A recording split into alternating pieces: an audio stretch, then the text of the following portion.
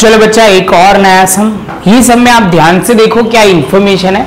X plus two Y plus Z is equal to seven ये एक equation दूसरे में दिया है x plus three Z is equal to eleven और तीसरे में दिया हुआ है two X minus three Y is equal to one अब बच्चा, ये सम सॉल्व करना कंपेरेटिवली इजी है. इसमें तीनों आप बोलोगे, सर, तीनों जो इक्वेशन है, इस तीनों में तीनों वेरिएबल नहीं दिए. इसलिए इजीली सॉल्व हो जाएगा। सपोज़ तीनों वेरिएबल दिए होते तो ऐसे हमने सम अलग से किया हुआ है। यहाँ ध्यान से देखोगे तो हर एक इक्वेशन में, ये दो इक्वेशन में तो दो ही वेरिएबल है। तो कैलकुलेशन पार्ट हमारा सिंपल हो जाएगा। हम क्या करेंगे? कोई भी एक वेरिएबल को सब्सटीट्यूट करके दूसरा दो इक्वेशन हम वैल्यू पुट करेंगे। अब बच्चा बोलेगा कि सर आप बोल रहे हो, उसमें समझ में नहीं आ रहा। तो देखो, अब लिखना शुरू करते तो ज़्यादा समझ में आएगा। इसको इक्वेशन वन इसको इक्वेशन टू और इसको इक्वेशन थ्री पहले यहाँ तक आपको क्लियर कर देना है। जैसे ये पॉइंट कंप्लीट होता है बच्चा, अब हम बोल सकते हैं कि इक्वेशन वन में जो है, उसको हम z के फॉर्म में लिख दे। लिख सकते हैं? तो ऐसे कुछ है हमारा first equation x plus two Y plus Z is equal to seven Z is equal to आप बोलोगे, सर, ये सब दूसरी साइड जाएगा तो seven plus X plus two Y. आप बोलोगे, सर प्लस होगा कि माइनस तो बच्चा ध्यान में रखना, यहाँ पे माइनस होगा, क्योंकि सेवन जो है, वो साइड एक्स गया, दूसरी साइड तो यहाँ पे एक्स और टू वाई जाएगा तो दूसरी साइड पे टू वाई हो जाएगा।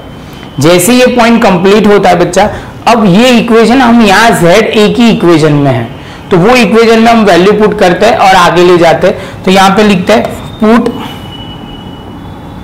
पुट यहाँ पे हम लिखेंगे put z is equal to seven minus X minus two Y in equation कौन सा है बच्चा? तो इन इक्वेजन टू है, इसमें वैल्यू पुट करते हैं। तो यहाँ पे हमारा जो है x plus three Z is equal to eleven जहाँ पे आप बोलोगे, सर, z की जगह आप क्या लिखोगे?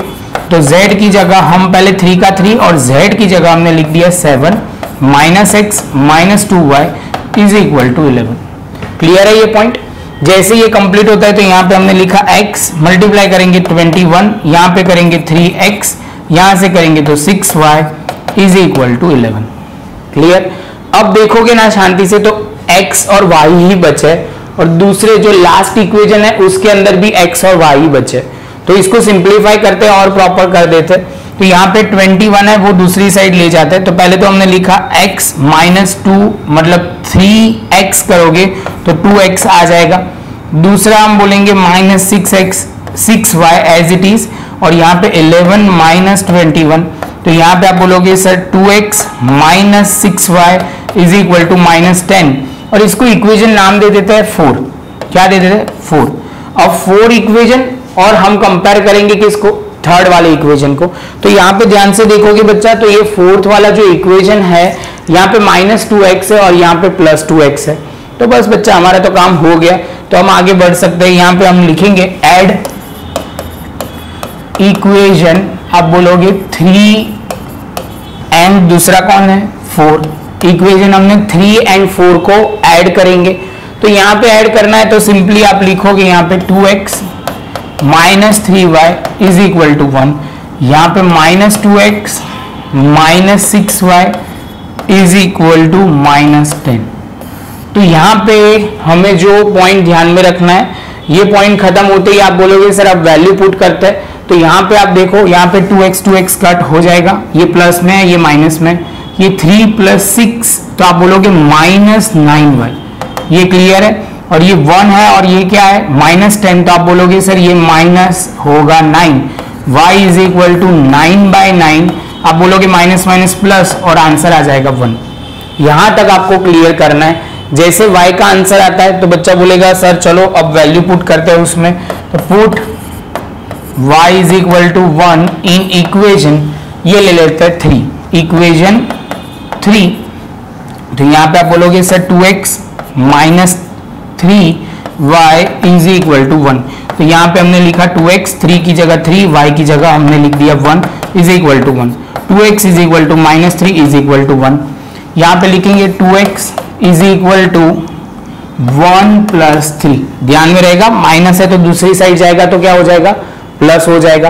तो बच्चा बोलेगा, सर देखो two X is equal to four X is equal to four by two answer आ जाएगा कितना? टू क्लियर जैसे ये पॉइंट कंप्लीट होता है, हमारा एक्स आ गया, दूसरा आप बोलोगे वाई आ गया। तो अब फ़र्स्ट वाले इक्वेशन या आप बोल सकते हो कि सेकेंड वाले इक्वेशन में वैल्यू पुट करके हम क्या ढूंढ लेंगे? जेड ढूंढ लेंगे। तो हम ढूंढते हैं सेकेंड वाले इक्वेशन में। तो यहाँ पे हम लिखेंगे put x is equal to two in equation two equation two में हम वैल्यू पुट करेंगे तो क्या होगा?